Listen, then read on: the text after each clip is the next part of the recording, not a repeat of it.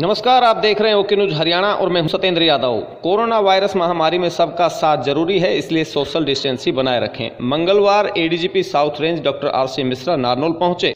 उन्होंने ज़िले के विभिन्न पुलिस नाकों का निरीक्षण किया और स्पष्ट रूप से कह दिया, जो जहाँ है, वहीं रहेगा। बाहर का कोई भी व्यक्ति ज़िले में प्रवेश नहीं कर पाएगा। पुलिस कल्याण फंड के ज़रिए जरूरतमंद लोगों की मदद की जा रही है। वहीं कुछ पुलिसकर्मी अपने स्तर पर गरीब लोगों को राहत सामग्री पहुँचा रहे हैं। शेल्टर होम में ठहरने वाले लोगों के लिए सभी प्रबंध किए गए। उनको भी हम थारोली सब जगह से चेक करा करके, ला करके शेल्टर होम में रख रहे हैं। उनका पूरा मेडिकल किया जा रहा है। उनको पूरा रहने का, खाने का सभी सुविधाएँ दी जा रही हैं। और किसी तरह की कोई प्रॉब्लम ना हो, उसके लिए हम पूरी तरह से तैयार हैं।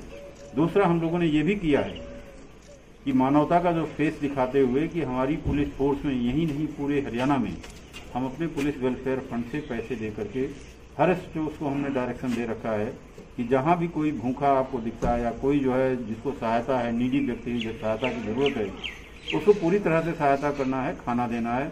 हर जो अपनी गाड़ी में 40-50 पैकेट रखता है, साथ में पानी की बोतल रखता है सैनिटाइजर रखता है और कहीं ऐसा कोई ग्रुप मिल जाता है, चाहे वो झुग्गी झोपड़ी वाला हो, चाहे वो रिक्शा वाला हो या कोई भी बाहर का अप्रवासी मजदूर है, वहीं पे उनको हम सैनिटाइज कराते हैं।